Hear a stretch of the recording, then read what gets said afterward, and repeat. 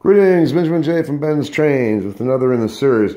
Well, I wanted to do a quick video on a really simple expedient for replacing the tab and slot uh, coupler on virtually any uh, Marx car or locomotive.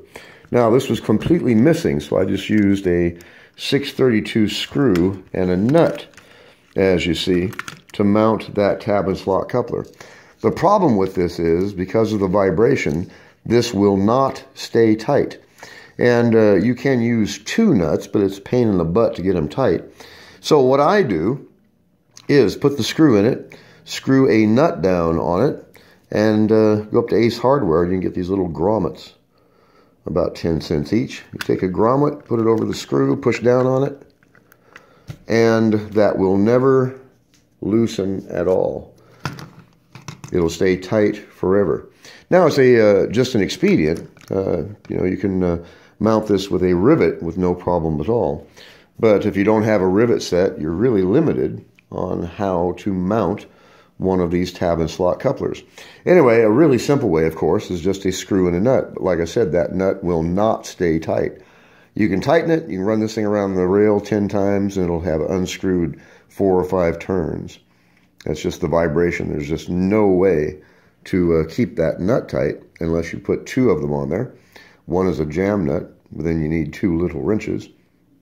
You can epoxy it, but in this case, it's really simple. Just uh, put the screw through the hole, put the nut on until it's finger tight, and then just push that rubber grommet over the screw, as you see, and that nut will never loosen. It'll stay exactly that tight, or however uh, much you tightened it.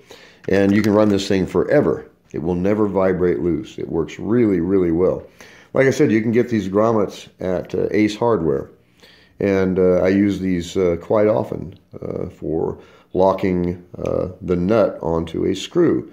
It's really simple. It's reusable. You want to take it off, just pull the grommet off, take the nut off, take the screw out, and replace it with a rivet. But if you don't have a rivet set, like I said, it's really simple just to use that screw, a single nut, and then that rubber grommet. And uh, it will lock that nut. It will never, ever loosen up. It'll stay however tight you tighten it. Anyway, I just want to do a quick video on this. It's a really simple expedient, but it works really well.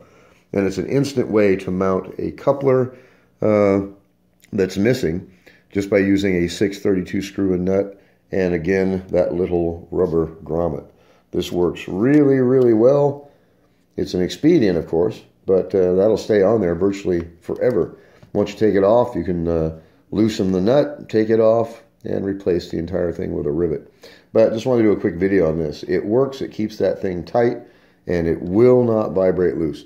So just a quick video. As always, if you have any questions, feel free to drop me an email, benztrainz at gmail.com. And as always, thank you for watching.